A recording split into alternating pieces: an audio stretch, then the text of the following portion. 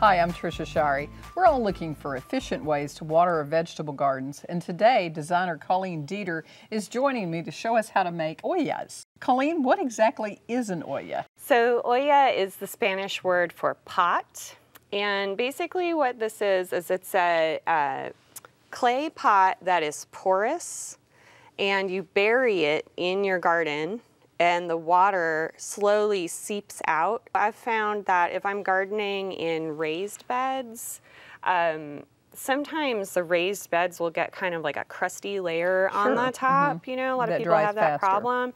Yeah, and the water, when you go to water with the hose, sometimes the water will just sort of pool on the top or even mm -hmm. run off the sides mm -hmm. of the mm-hmm. bed. So the ollas deliver the water directly to the roots.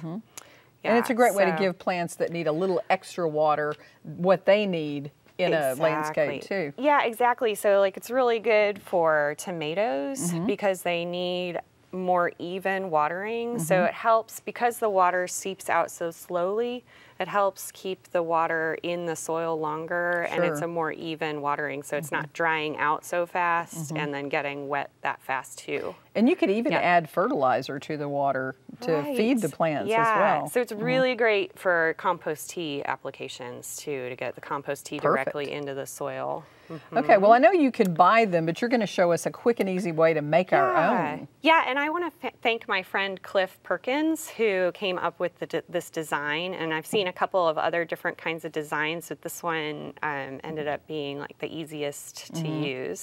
And one of the keys, Trisha, too, is to get an azalea pot mm, mm -hmm. because the azalea pot is shorter than yeah. a regular flower pot. Yeah, those so are the short, helps. squatty mm -hmm, ones. Short, squatty mm -hmm. ones. Yeah, okay. so look for the azalea pots. Most of the nurseries carry them. They're easy mm-hmm. to find. But we have the 10-inch azalea pot here and a 12-inch saucer. Okay, they so what's our together. first step for prepping this saucer? So the first step is to take some Gorilla Glue and what you're gonna do is you're gonna spread the Gorilla Glue around on the inside of the saucer. And you want to cover and every gonna, inch. Yes, you're going to completely mm -hmm. cover it, and you can use like a, a paint stick mm -hmm. to kind of spread it out in there.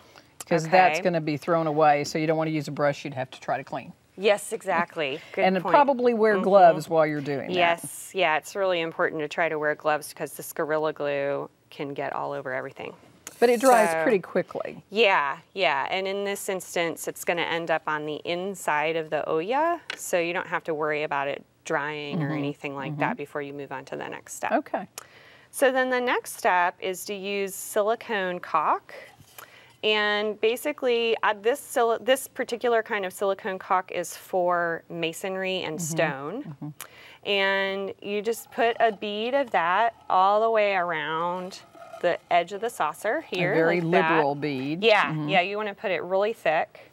Okay, and then you also put a bead around the top mm -hmm. of your azalea pot. Mm -hmm. Okay, mm-hmm. like that. You flip the pot over, and you'll be wearing gloves, of course, and you place them together like that.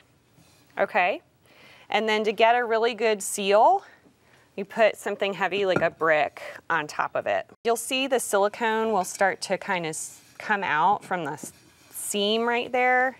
And you can come through with some alcohol on a rag and just kind of wipe it off mm -hmm. where it's dripping out too much. too, much. Yeah. Mm -hmm. And then you let that sit for one hour.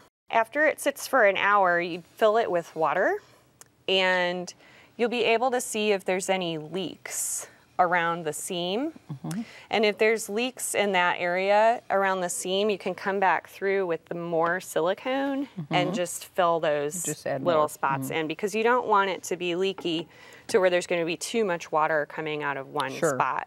Then what you do is you take it out to the garden and you bury it to about right here mm-hmm. so that there's about an inch of the pot sticking out of the ground. Mm-hmm. And then when you water, you put the water through this hole right here mm -hmm. with the hose. And then you put a rock on the top to keep mosquitoes from getting in. And so you'd use these in containers, vegetable gardens, yeah. many, many different applications. Yeah. Well, how far apart would you space these in your garden? Just about every five feet or so, but it depends on the kind of soil you have and what you're Mm-hmm. growing, you know. Well, I think this is an excellent idea for all of us to uh, help our drought stressed plants in our gardens. For Backyard Basics, thanks for joining me. I'm Trisha Shirey, and thanks, Colleen, Thanks, for joining Trisha. me today. It was fun.